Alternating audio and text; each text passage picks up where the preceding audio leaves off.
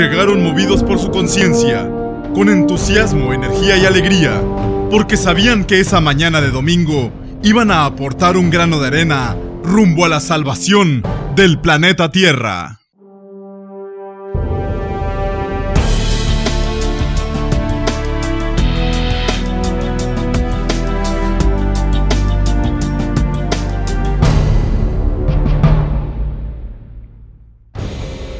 La limpieza de playas es una de las actividades humanas más benéficas para el medio ambiente de zonas costeras, pues la remoción de plásticos, vidrio, metales y otros peligrosos materiales evita que lleguen al mar, amenazando sin remedio a las especies animales y vegetales que habitan los océanos, además de mantener las playas limpias para los turistas y visitantes.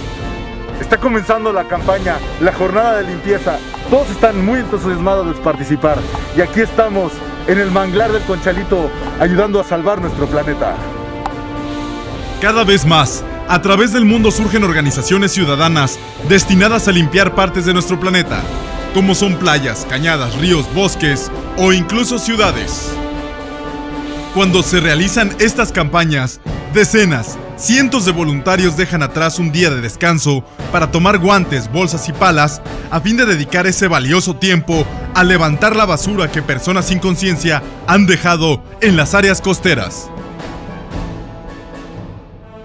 Las campañas ciudadanas de limpieza y concientización ambiental que se realizan en la ciudad de La Paz tienen ya siete años, gracias a una organización no gubernamental llamada Conciencia México. No es nada más las playas, lo importante es tener todo tipo de ambiente limpio, sea tu ciudad, sea tu monte, sean tus playas.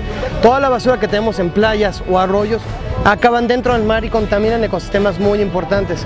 Yo invito a toda la gente a que no hay que limpiar, sino hay que evitar ensuciar. Si pueden llegar a un lugar y limpiar lo que encuentren, también háganlo. Dejen el lugar mejor que como lo encontraron. Pues recuerden que el México más limpio es aquel el que menos se ensucia.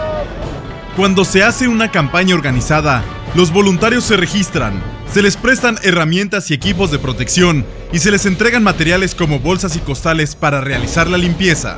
Por lo general, gracias a la nutrida asistencia de gente a estas campañas, son jornadas muy rápidas y sobre todo de gran valor en nivel de convivencia con el prójimo y la naturaleza.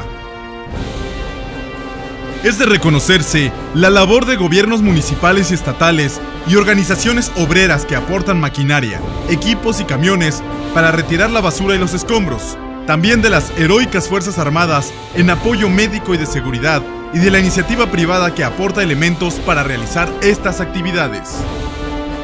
Una vez terminada la jornada de limpieza, se devuelven las herramientas para ser utilizadas en campañas posteriores y nada como la satisfacción de ver un rincón de nuestra patria limpio.